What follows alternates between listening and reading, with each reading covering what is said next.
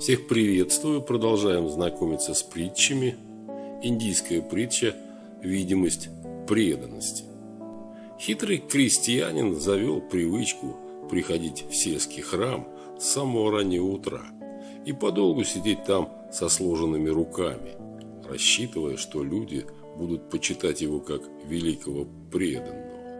Поскольку до полудня он не вставал с места и не уходил, местный жрец не мог закрыть храм и отправиться по своим дневным делам.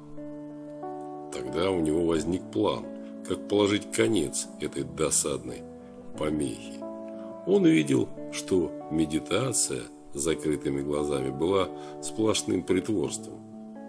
Жрец спрятался за статуей божества, и когда крестьянин изображал глубокую сосредоточенность, сказал измененным язычным голосом, «Верный, преданный, слушай, меня несказанно радует твой аскетизм и твоя твердая воля.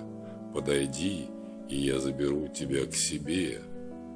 Услышав это, крестьянин стримглав выбежал из храма и его там больше не видели. Вот такая индийская притча, она называется «Видимость преданности». Пока-пока, до свидания.